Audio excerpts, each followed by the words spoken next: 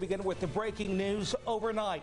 The person accused of shooting an officer in Mabank is in police custody this morning. The shooting happened at the Cottage Row apartments at Dink Street and Cottage Row. Police say the incident happened at around 4:45 Sunday when officers entered a unit. Shots were fired by someone through the ceiling.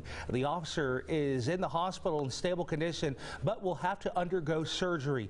The identity of the suspect and their charges have not been released, but they are sitting in the Henderson County Jail. For the latest information, you can go to our website. That is easttexasmatters.com and the KETK mobile app.